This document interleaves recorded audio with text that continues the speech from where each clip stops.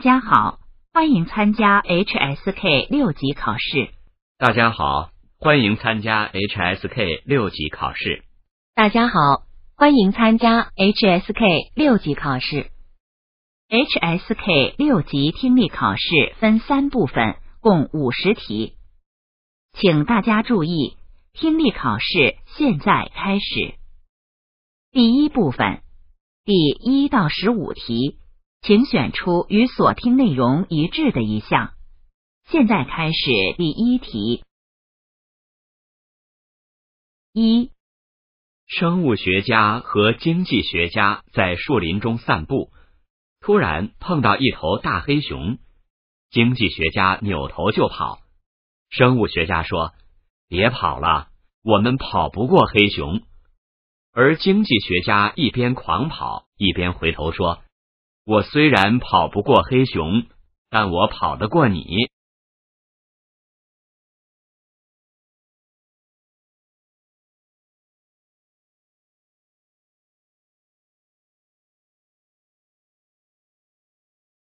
二、很多人认为不渴就不用补水，专家告诉我们，并不是口渴时才需要喝水。当觉得口渴时，表示身体已经是缺水的状态了。所以，正确的喝水方式就是平常要多补充水分，等口渴才喝就来不及了。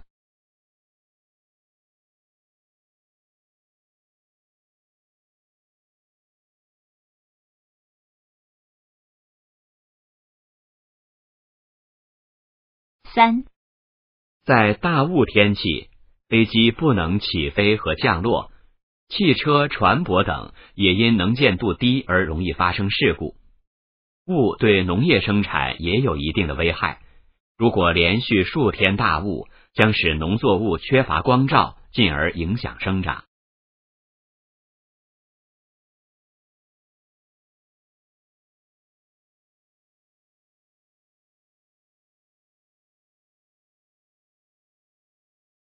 四、毕业典礼上，校长宣布全年级第一名的同学上台领奖。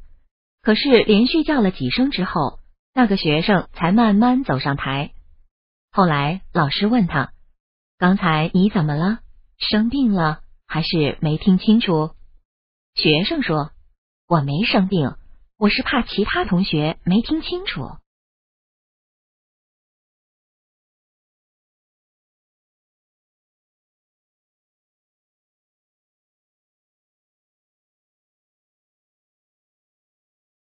五、漂亮和成功有没有关系？我认为有很大的关系。因此，只要碰到合适的衣服，即使很贵，我也会买。穿上漂亮的衣服，我会特别自信，客户也会对我产生良好的感觉，这对我的工作有很大的帮助。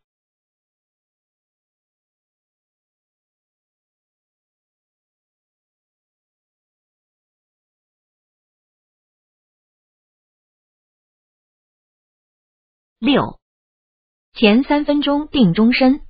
找工作时，你给面试考官的第一印象，从言谈举止到穿着打扮，都将直接影响你被录取的机会有多大。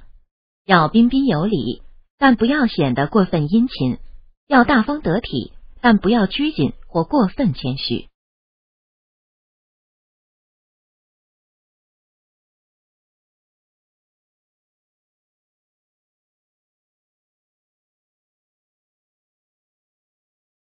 七、二十几岁是人生的春天，这个春天非常短暂。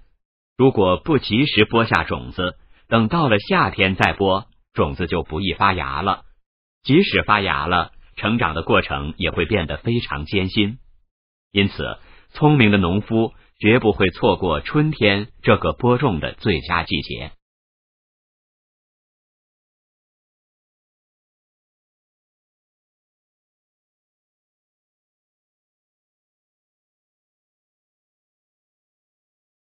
八、孩子找妈妈要两块钱，昨天给你的钱呢？我给了一个可怜的老奶奶。他回答说：“你真是个好孩子。”妈妈高兴地说：“再给你两块钱。可是你为什么要把钱给那位老奶奶呢？她是个卖糖的。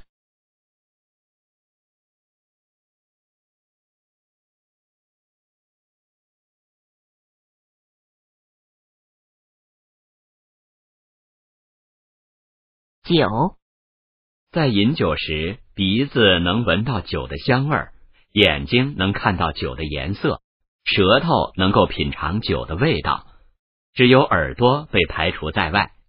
有人想出了碰杯的办法，杯子发出清脆的响声，耳朵就和其他器官一样，也能享受到喝酒的乐趣了。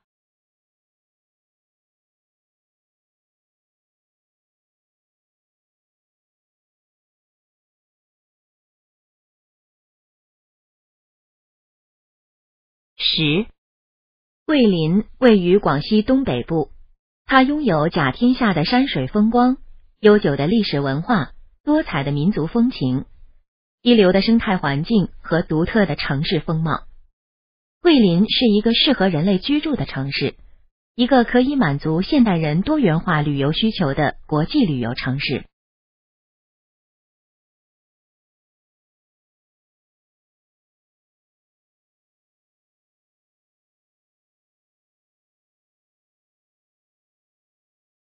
十一，男人的钱包、女人的年龄被人们视为现代职场中的两大秘密。不过，在网络上，很多人正热衷于把自己的详细收入，甚至日常开支都展示出来。网民们给他起了个生动的名字，叫“晒工资”。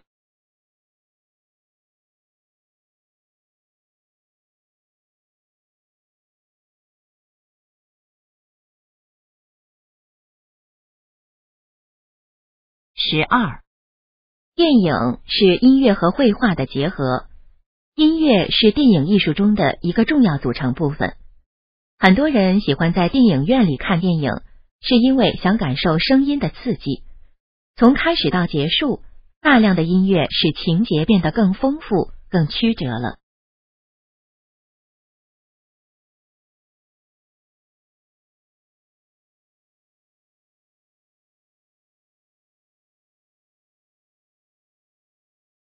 十三，航天科技活动与人类生活的关系日益密切，居民电视、手机信号等无不依赖于天上卫星发来的信号，连城市交通也要依赖卫星信号来调控。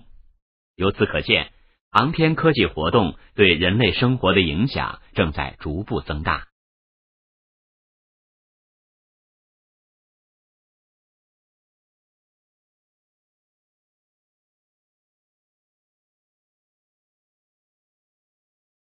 十四，《西游记》是中国古代一部著名的长篇神话小说。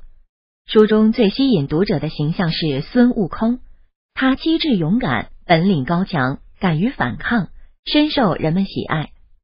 这部小说充满了奇特的幻想，表现出丰富的艺术想象力，在中国影响极大。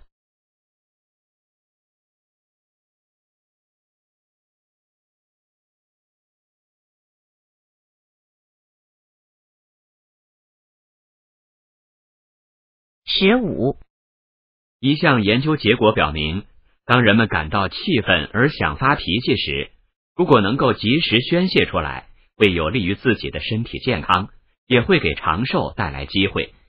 研究结果显示，那些活得长的研究对象，基本上都属于有脾气则发的类型。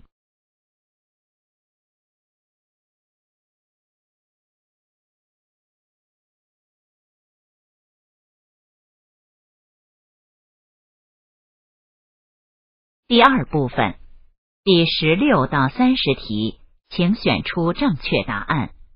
现在开始第十六到二十题。第十六到二十题是根据下面一段采访。大家好，欢迎来到我们的访谈室。现在坐在我身边的是北京欢乐谷的副总经理郑维先生。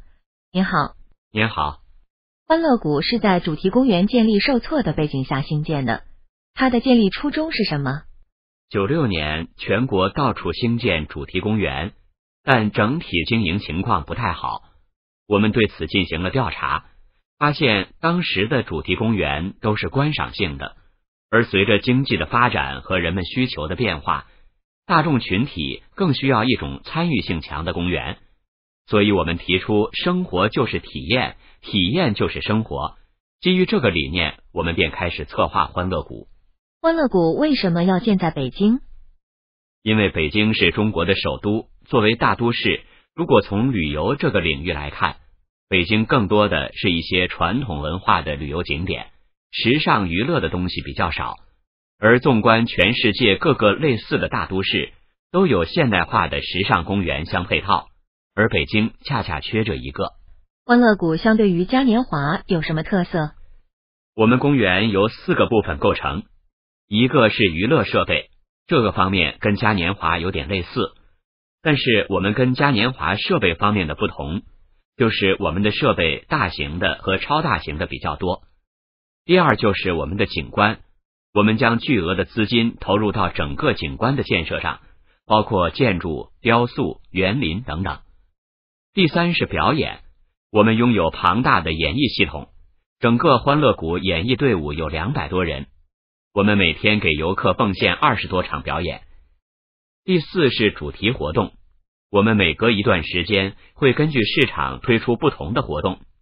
暑假我们刚刚搞了梦想狂欢节，十一过后我们会推出时尚狂欢节。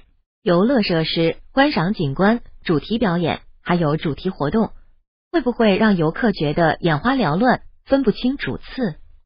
在进入欢乐谷之前。我们会给每位游客一个时间表和一张导游图，清楚标明当天有哪些设备项目，有哪些表演。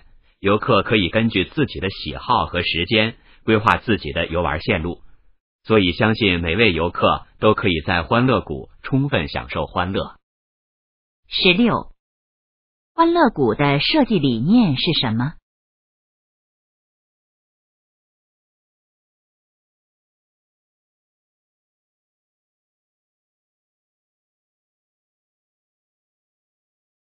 十七，欢乐谷建在北京的主要原因是什么？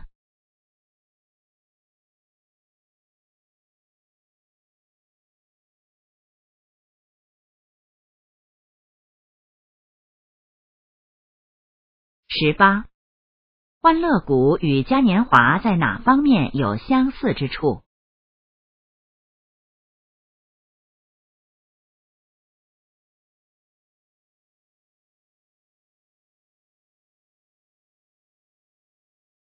十九，欢乐谷的演艺队伍有多少人？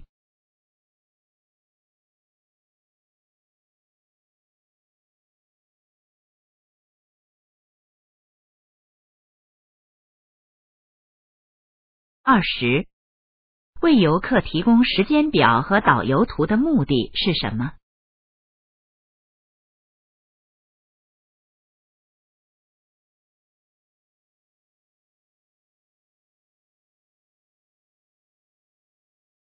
第二十一到二十五题是根据下面一段采访。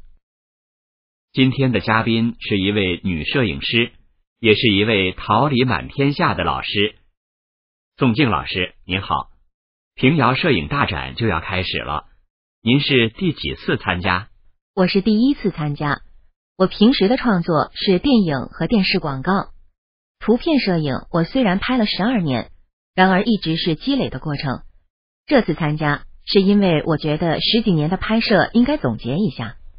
您作为一个专业人士，是怎样看待像平遥这样一个越来越享有国际声誉的大赛的？平遥摄影节，据我了解，一开始也是以地方旅游经济为目的展开的，现在赢取了这么大的成绩，而且在业内确定了它的权威性和全面性，对于世界来讲，提供了一个窗口，介绍中国摄影师。它是了解中国摄影和中国了解世界摄影的窗口和桥梁。您也是一位很了不起的老师，学生们都很喜欢您上课的形式。您能不能给大家介绍一下？我的教学形式是这样的：白天拍摄，晚上上课，用我们认可的纪实摄影大师的作品启发学生，用纪实摄影的理论指导学生应该怎么拍摄，告诉学生用心灵去感应。对于您的学生来讲，您的授课方式在专业上对他们来说是一个提升，在生活眼界方面也是一个扩大。他们在这方面的收获是不是已经超过了您的预期？的确是这样。九八年，我带着学生去山西，因为我一直奉行艺术向生活学习，所以我开始上生活摄影课的时候，就主张应该到生活里去，让学生到那个地方比较集中的感受生活。当我们从山西回来第一次做展览的时候，我真的觉得学生拍的东西太好了，你都不知道他们的力量有多大。在我们眼中，女性摄影是非常酷的职业。您是怎么开始您的职业生涯的？我从小学画画，然后考电影学院摄影系。当时电影学院没有图片摄影系，都是电影摄影，我就考上了这个专业。我感觉我对艺术有一点点天分，而且学的不累。二十一，女的平时主要从事哪方面的创作？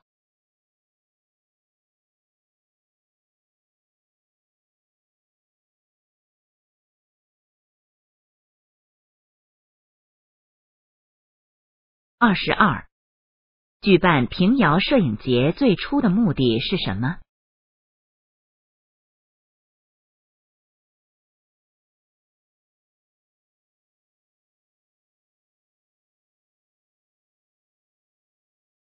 二十三，女的采取什么样的教学形式？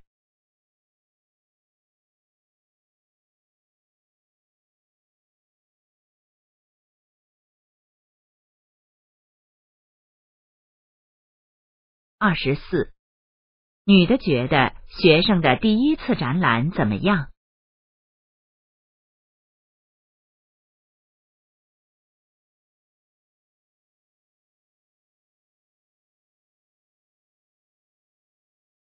二十五，关于女的，下列哪项正确？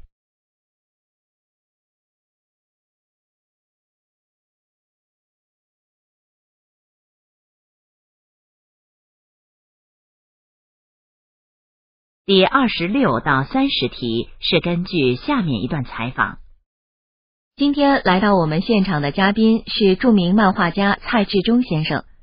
蔡志忠先生是一个很特别的人物。全球每天至少有十五部机器在同时印刷他的作品。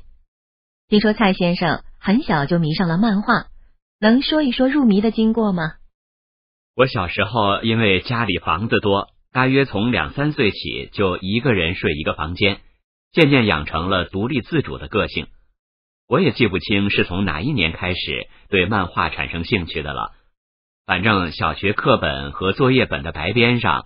到处都活跃着我信手画的小人国。考上中学后，态度才认真起来，将书报杂志上的漫画拿来细细品味揣摩，然后将心中的构思画在纸上，向出版社投稿。画稿也很幸运的不断的被采用。后来我就被一家杂志社录用了。那时您初中毕业了吗？还没有，只差半年。可我太热衷漫画了。别说半年，就是一个月也等不得。我决定接受这份工作。您的父亲没有阻拦吗？我能有今天，要特别感激父亲的宽容。俗话说“知子莫若父”，父亲对我非常了解，也非常信任。他知道我提前退学，一定是去从事自己热爱的事业的。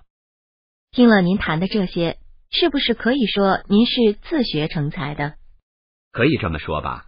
我学画漫画完全是兴趣爱好，我自己没有多高的文化，也从来没有拜过老师。我相信，只要自己喜欢干，就一定能学好干好。人要有出息，必须靠自己。当然，无师自通不是无条件的，要达到较高的境界，必须如醉如痴的去追求。您画漫画的目的是什么？完全没有目的。就像我们谈话口渴了就喝一口茶，中午饿了就下楼找餐厅吃饭一样，在我眼里，漫画是一种有意思的表达方式。内心有所感悟时，就用画面传达给读者。为了达到漫画最高标准，我是全力以赴的。我每天早晨七点钟起床，开车送女儿去上学，然后就到自己的工作室去画画，一直画到下午六点半。晚饭以后继续画，总是到凌晨两三点钟才上床睡觉。我很珍惜时间，在我脑子里没有昨天，也没有明天，只有今天。二十六，男的从小养成了怎样的个性？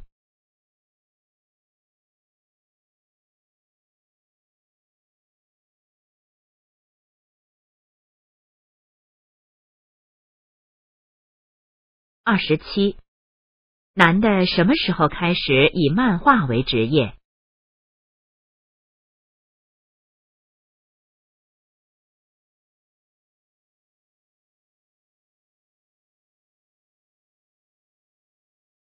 二十八，男的特别感激父亲的什么？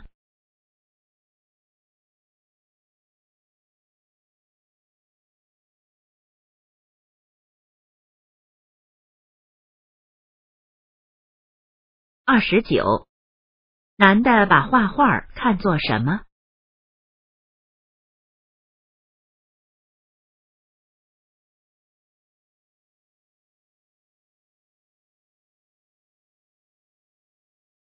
三十，关于男的，下列说法哪项正确？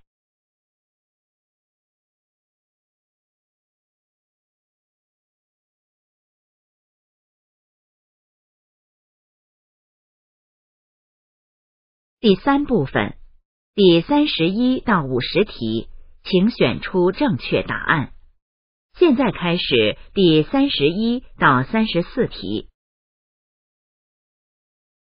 第三十一到三十四题是根据下面一段话：把交流当成习惯，在日常生活中形成一种实时沟通、事事交流的习惯。否则，即使为了表达某种善意。或是为了把事情办好，也有可能因为缺少交流而把事情办糟。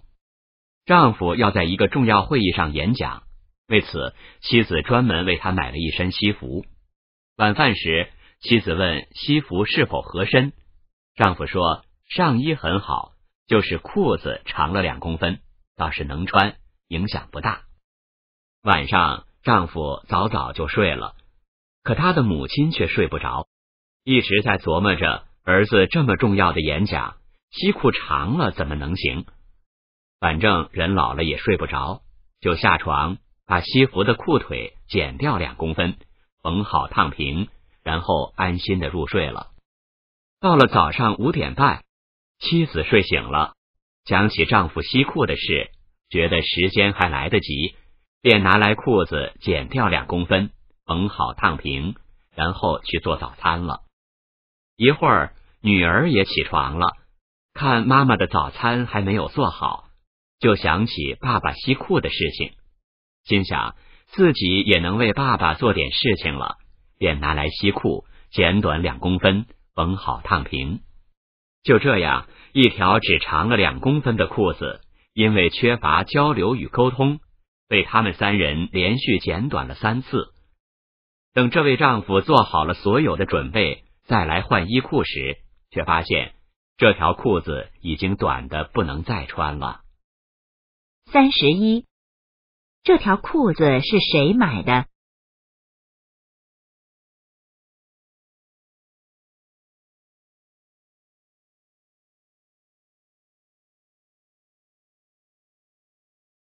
三十二，女儿为什么把裤子剪掉两公分？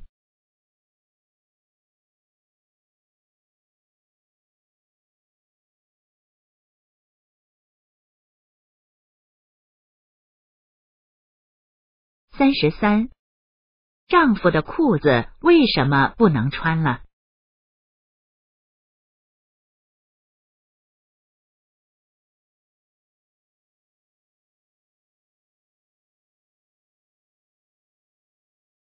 三十四，这段话主要想告诉我们什么？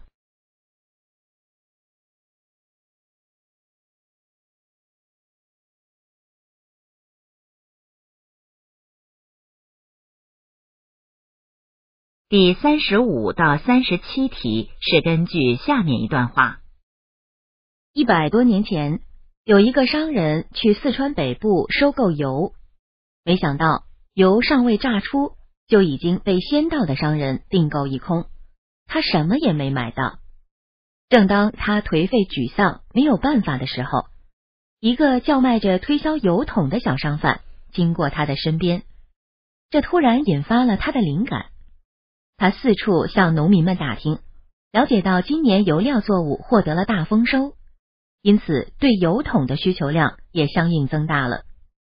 此时油还没榨出，还没有人注意到油桶市场，于是他把计划用于购买油的钱全部用来订购油桶，占有了四川北部所有的油桶货源，因而获得了丰厚的利润。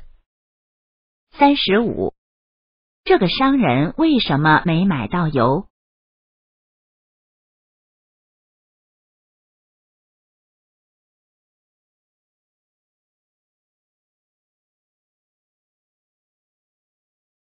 三十六，谁给了这个商人启发？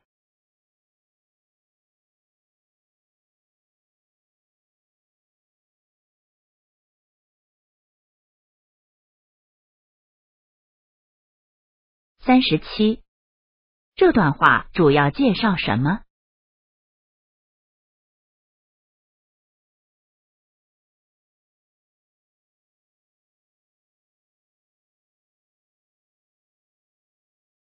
第三十八到四十题是根据下面一段话。我从小就非常崇拜科学家，对自然界也充满了好奇心。我认为。科学家是在为全人类探索道路，在漆黑一片的世界里，科学家走在最前面，不畏艰辛，顽强的开拓，在经历无数的失败以后，为人类找到发展的道路。做科学家是一件很难的事情，你把全部的身心都投进去也不够用，你要有非常坚韧的意志，你要能承受一次又一次的失败，你做的事情。全人类只需要做一次。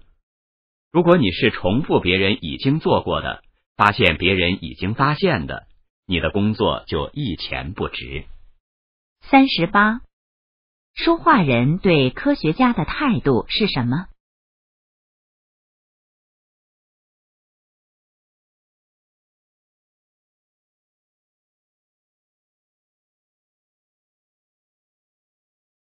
三十九。说话人认为什么样的人能成为科学家？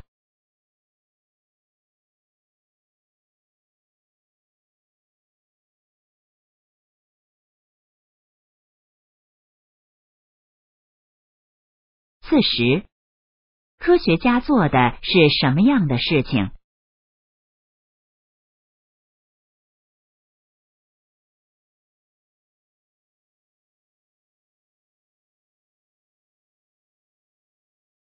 第四十一到四十四题是根据下面一段话：有一个农夫划着小船给另一个村子的居民运送自己的农产品，他着急的划着小船，希望赶紧送完货物，在天黑前能够赶回家。突然，农夫发现前面有一只小船向自己快速驶来，眼看就要撞上了，但是那只船。丝毫没有退让的意思，好像是有意要撞翻农夫的小船。让开，快点让开！农夫生气的向对面的船吼道：“再不让开，你就要撞上我了！”但是农夫的吼叫完全没有用，尽管农夫手忙脚乱的向旁边躲避，但已经来不及了。那只船还是重重的撞上了他的船。农夫非常生气，抱怨道：“你会不会开船？这么宽的河面，你竟然还能撞到我的船上！”农夫突然不说话了。他发现小船上空无一人，听他严厉指责的，竟然只是一只挣脱了绳索、顺河漂流的空船。四十一，关于农夫可以知道什么？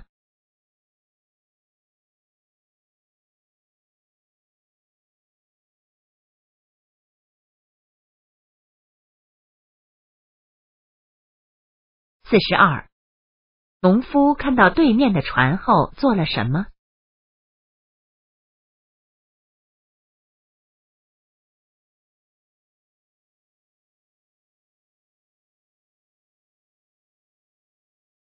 四十三，关于对面的那只船，下列哪项正确？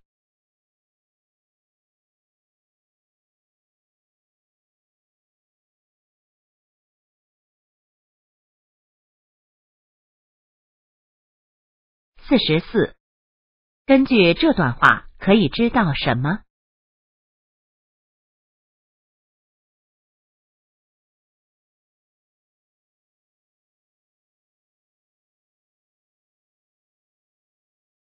第四十五到四十八题是根据下面一段话。你相信吗？即使是婴儿也能分辨出友好和不友好的伙伴。并且知道该和谁一起玩。有实验表明，六个月到十个月大的婴儿，在他们会说话之前，就已经表现出了至关重要的社交判断技巧。在实验中，婴儿们看着一个木质的大眼睛娃娃在爬过山车，然后有另外的大眼睛娃娃过来，有的帮助他爬过去，有的把他推倒。还有的则什么也不做。研究人员把这些大眼睛娃娃拿给婴儿，看他们会和哪一个玩。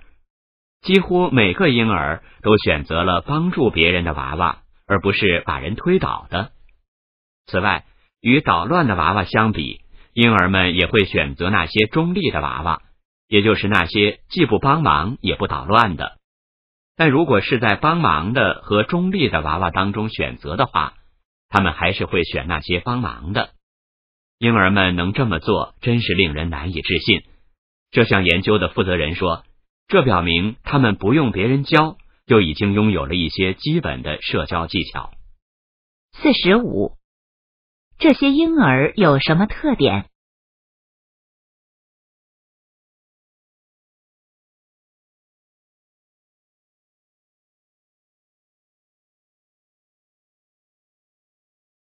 四十六，根据这段话，木头娃娃的行为可以分为几类？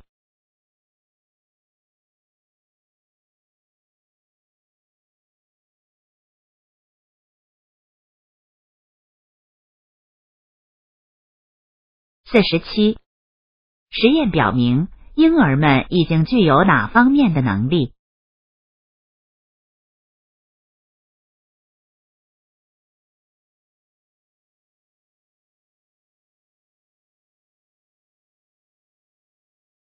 四十八，那位负责人认为婴儿的这种能力来自哪里？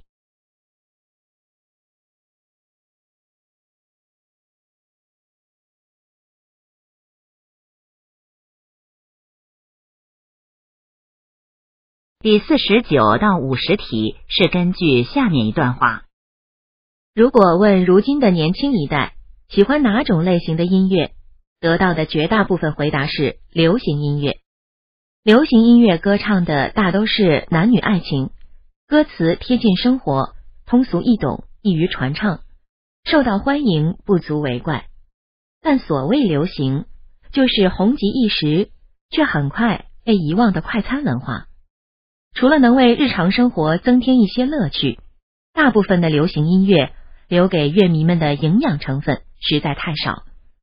但是，比较流行音乐与高雅音乐，二者之间并不是完全的界限分明。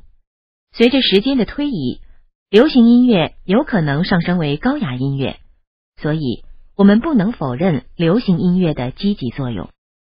四十九，现在的年轻人比较喜欢什么音乐？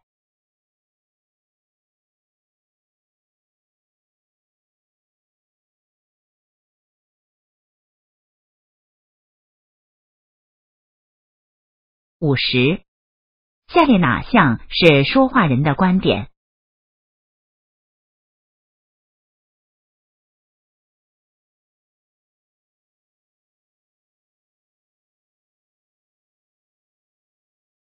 听力考试现在结束。